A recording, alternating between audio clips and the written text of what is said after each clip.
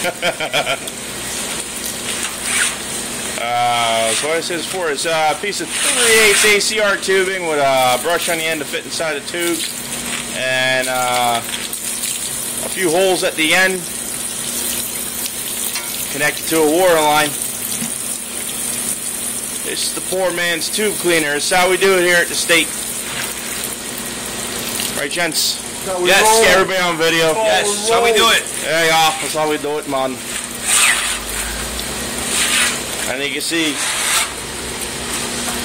all the dirt that's coming out from the tubes on the floor.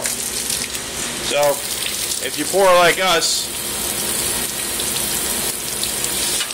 Poor man's toothbrush. this works pretty good. It saves your back. Keeps you from getting too wet. Except for the guy pushing it in and out. The oldest guy note, it's the oldest guy doing Yeah. it. Wow, somebody has to work here. Two young guys are standing around watching me. Yeah. Ones that came up with it. The other guy's feet are cold. Getting close to He's, lunch. he's the newbie. The new guy. Peter Cole.